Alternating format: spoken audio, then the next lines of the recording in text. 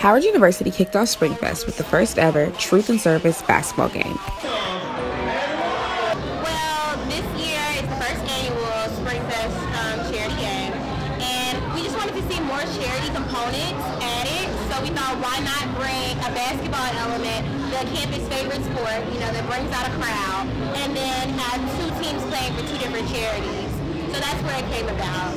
The teams are divided by Truth and Service with Team Service pulling out the win. That's all I can say. They practice hard each and every day. They came out, did the thing.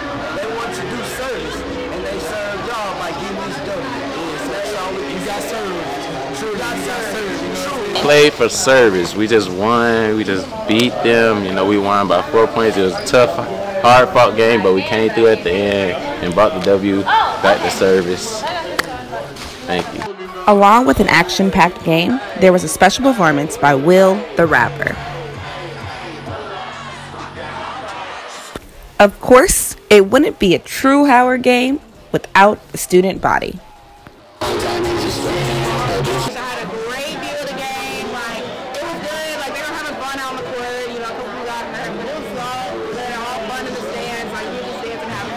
So this is just the beginning of a week full of Springfest events. Congratulations to Team Service for the win. For Spotlight News, I'm Nayo Campbell.